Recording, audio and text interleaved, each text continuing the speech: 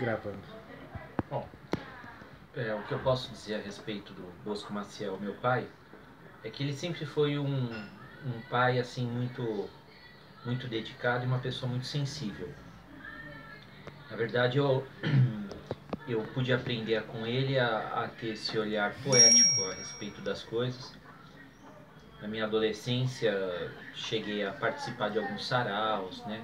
Admirar além da sensibilidade dele, a, a capacidade de gerenciar, de organizar e de promover esses eventos culturais. A gente começa ali no Parque Secap. Eu posso te dizer assim que uh, a gente, ele começa a organizar um, um grupo de amigos aonde ele cuidava de todas as crianças através do futebol, da De Paraná, que era uma associação desportiva de futebol de salão.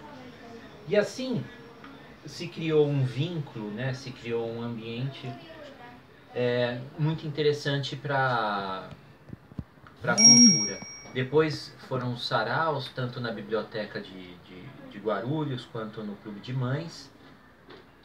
Meu pai ele ficava tocando violão na, na pracinha, as pessoas sentavam no banco, saíam e outras chegavam, ele nem percebia.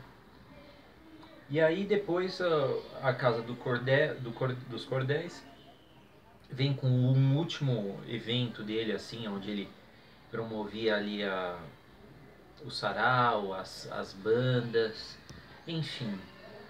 É uma pessoa assim de uma garra, de uma força de vontade muito grande, é, muito sonhadora. Muitas vezes eu entendo que foi muito inocente no que se diz respeito a se meter com política. Eu nunca, nunca aceitei uma ideia dessa. Aceita, aceita, né? Mas nunca achei que fosse a, o melhor caminho para a cultura. É uma pessoa que tem muito valor, né? É isso aí. Pai, um grande abraço. Parabéns.